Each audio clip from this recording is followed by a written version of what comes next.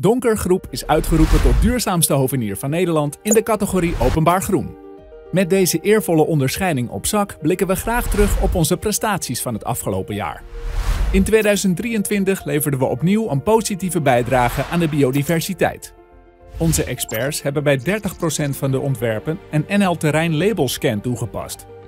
We hebben acht keer de meetlat biodiversiteit ingezet om terreinen te beoordelen.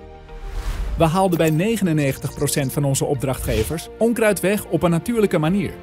En maar liefst 98% van het gebruikte plantmateriaal was Planetproof gecertificeerd. Ook hielpen we onze opdrachtgevers beter om te gaan met extreme weersomstandigheden. We vergroenden 58 basisschoolpleinen en legden 14 voedselbosjes aan. En daarbij zijn we partner geworden van Mijn Stad Klimaatbestendig. Ook hebben we onze grip op zowel ingaande als uitgaande materiaalstromen weer versterkt. Circa 58% van onze inkopen kwam uit hernieuwbare bronnen. We kochten enkel nog houtproducten uit verantwoord beheerde bossen. We ontwierpen met wat voorhanden was en herbruikten zo'n 2400 ton bestratingsmaterialen.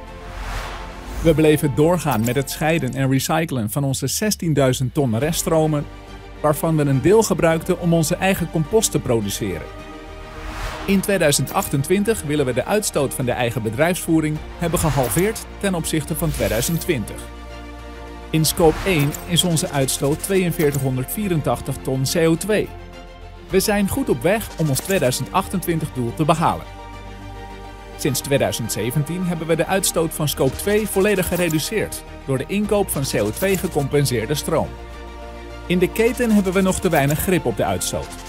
Door stijgende omzet zien we onze emissies hier nog stijgen. Hier moet de komende jaren meer focus op. Met trots dragen wij de erkenning van duurzaamste hovenier van Nederland. Een prestatie waar onze groene gidsen in 2023 dagelijks aan werkten door mens en natuur met elkaar te verbinden.